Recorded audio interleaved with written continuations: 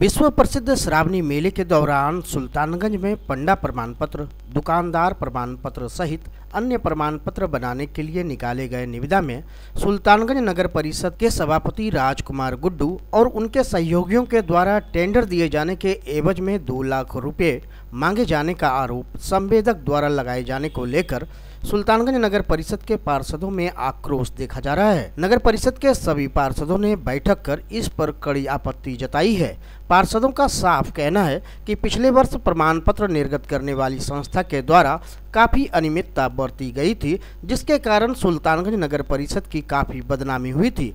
इसके बाद हम सभी पार्षदों ने नगर सभापति से यह आग्रह किया कि प्रमाण पत्र बनाने का कार्य विभागीय किया जाए, जिससे ऐसी संस्था को लूट की छूट नहीं मिले। उसी के आधार पर विभाग के द्वारा इस बार प्रमाण पत्र बनाने का कार्य सुल्तानगंज नगर परिषद के द्वारा कराया जा रहा है। वहीं इस पूरे प्रकरण पर सुल्तानगंज नगर परिषद के सभापति राजकुमार गुड्डू ने कहा कि पूरी पारदर्शिता के साथ इस बार सुल्तानगंज नगर परिषद के द्वारा प्रमाण पत्र बनाने का काम विभाग स्तर पर किया जाएगा। जिससे नगर परिषद के राजस्व में तो वृद्धि होगी ही, साथ ही साथ वैसे लोग जो नगर परिषद के नाम पर श्रावणी मेले के दौरान पंडा दुकानदार और कांवरियों को लूटने का प्रयास करते हैं, उनके मनसुओं पर भी पानी फिर जाएगा। साथ ही राजकुमार गुड्डू ने कहा कि लूट की छूट नहीं मिलने से संवेदक उन पर बेबुनियाद आरोप लगा रहे हैं। मैं सभापति को जान रहा हूँ, सभापति इस मामले में कभी नहीं रहते हैं।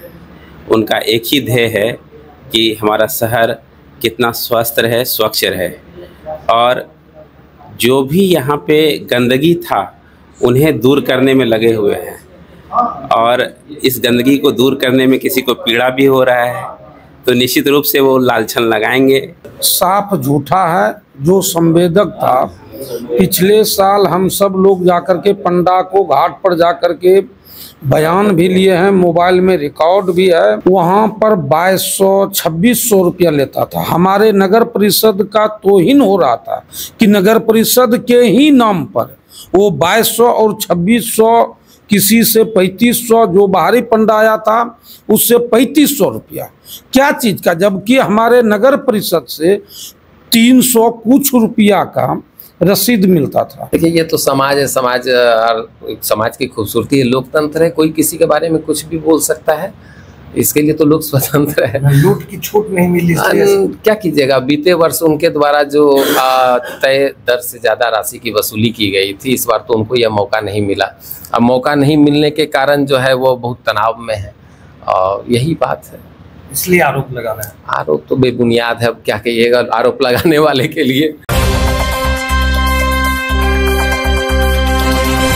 22 जुलाई से प्रारंभ होने वाले विश्व प्रसिद्ध श्रावणी मेले को लेकर प्रशासनिक तैयारियाँ युद्ध स्तर पर चल रही है। सुल्तानगंज नगर परिषद के द्वारा लगातार देश विदेश से आने वाले कांवरिया श्रद्धालुओं की सुविधा को लेकर व्यापक तैयारियाँ भी की जा रही है।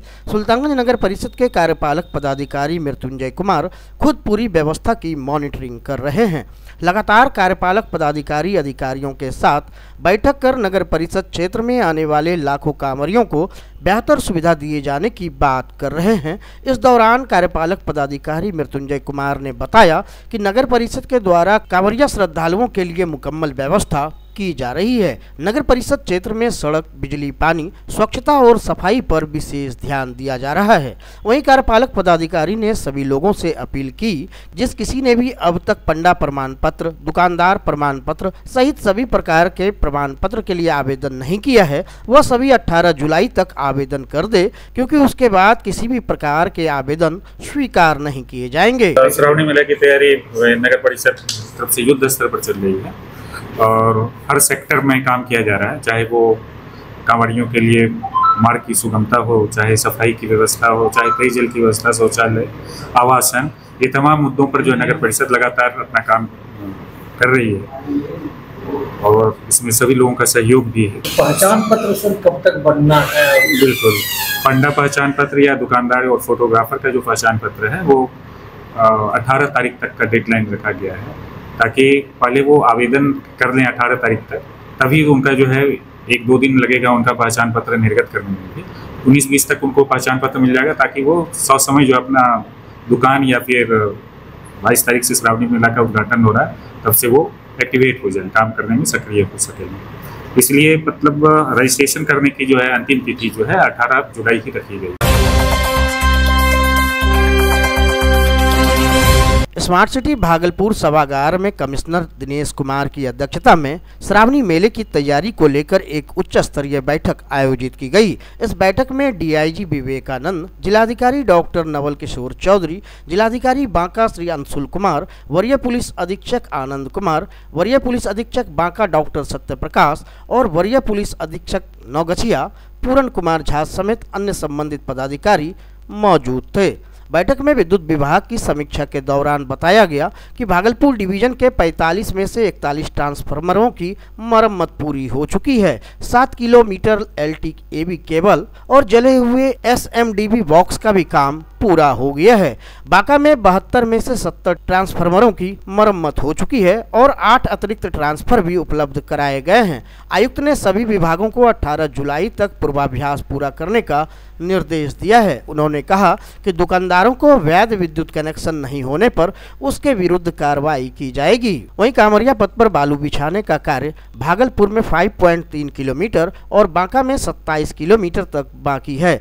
डीएम बांका ने पथ निर्माण विभाग को रात में भी काम करने के निर्देश दिए हैं। बैठक में स्वास्थ्य विभाग, पीएचडी, भवन निर्माण और पर्यटन विभाग ने भी अपनी तैयारियों की जानकारी दी। आयुक्त ने कहा कि सफ़ाई कर्मचारी एक ही ड्रेस में रहेंगे ताकि उन्हें पहचाना जा सके। बैठक के दौरान रेलवे के अधिकारी ने बताया कि 15 एकड़ ज़मीन जिला प्रशासन के उपयोग हेतु एनओसी प्रदान की गई है। सूचना एवं जनसंपर्क विभाग ने भागलपुर और बांका में सूचना केंद्रों की स्थापना की जानकारी दी। आयुक्त ने सभी पदाधिकारियों को व्हाट्सएप ग्रुप बनाने और 18 जुलाई तक सभी कार्य पूरा करने के निर्देश दिए हैं। बिहार राज्य दफादार चौकीदार संघ के द्वारा अपनी मांगों को लेकर प्रमंडलीय आयुक्त कार्यालय के समक्ष एक दिवसीय धरना कार्यक्रम का आयोजन किया गया। इस धरना कार्यक्रम का उद्देश्य बिहार चौकीदार संवर्ग नियमावली 2019 में संशोधन, चौकीदारों की प्रोन्नति एवं बहाली और एसीपी का लाभ जैसी मांगों को लेकर प्रदर्शन किया गया। इस संबंध में दफादार चौकीदार संघ के राज्य उपाध्यक्ष रामविलास पासवान ने बताया कि चौकीदारों के स्वेच्छा सेवानिवृत्ति के आश्रितों की बहाली के आदेश निर्गत करने के बावजूद इसे बंद कर दिया गया है। वहीं अरवल ज़िले में वैकेंसी निकाल कर बहाली करने का आदेश निर्गत किया है, जिसे तत्काल बंद करने की मांग की गई। इसके साथ ही विधानसभा में विधेयक लाकर अस्थायी रूप से जो सेवानिवृत्त चौकीदार हैं, उनके आश्रितों की बहाली का आदेश जारी करने की मांग की गई। रामविलास पासवान ने यह भी कहा कि 34 वर्ष की सेवा के बाद चौकीदारों को जो एसीपी का लाभ मिलता है, वह प्रदान किया जाए। अन्यथा संघ उग्र आंदोलन के लिए तैयार है और आगामी रणनीति के तहत 20 जुलाई को विधानसभा का घेराव किया जाएगा। बिहार विधानसभा के उपाध्यक्ष नरेंद्र नारायण यादव भागलपुर में एक निजी कार्यक्रम में शामिल होने पहुँचे। इस अवसर पर भागलपुर सर्किट हाउस में उन्होंने प्रेस वार्ता भी आयोजित की। प्रेस वार्ता के दौरान उपाध्यक्ष नरेंद्र नारायण यादव ने एनएचएम की मांगों और बिहार में गिर रहे पुल पुलियों के मुद्दे पर चर्चा की। उन्होंने कहा कि जब भी पुल या पुलिया का निर्माण होता है तो नींव डालते समय सहायक अभियंता और कार्यपालक अभियंता की उपस्थिति अनिवार्य होनी चाहिए। ढलाई के काम के दौरान भी इंजीनियर की टीम को मौके पर रहना चाहिए। यह सुनिश्चित करना इंजीनियरों की ज़िम्मेदारी है कि निर्माण कार्य मज़बूत और टिकाऊ हो, क्योंकि उनके पास तकनीकी ज्ञान होता है। यादव ने कहा कि बिहार सरकार ऐसे लापरवाह सहायक अभियंताओं और कार्यपालक अभियंताओं को चिन्हित कर विभागीय कार्रवाई कर रही है। इसी का परिणाम है कि ग्रामीण कार्य विभाग के चार इंजीनियरों को निलंबित कर उनके खिलाफ कार्रवाई की गई है। इसके अलावा ग्रामीण कार्य विभाग के प्रधान सचिव को भी हटाकर नए प्रधान सचिव की नियुक्ति की गई है, जो अपने विभाग में बेहतर कार्य कर रहे हैं। हमारा काम है कानून बनाना, नीति बनाना और इम्प्लीमेंट करना कार्यपालिका का काम है। जो जिला के जिला पदाधिकारी होते प्रमंडलीय आयुक्त होते सिविल सर्जन होते इस सब का धर्म होता है। इस सब का कर्तव्य होता है। उसमें मैं आपको बताऊँ कि एक बार मैं कमेटी के टूर में गया था बक्सर। इतनी सुंदर व्यवस्था थी प्रसव पीड़ा की वहाँ पर। इतनी सुंदर व्यवस्था थी टीबी के जाँच की। मैं आश्चर्यचकित रह गया।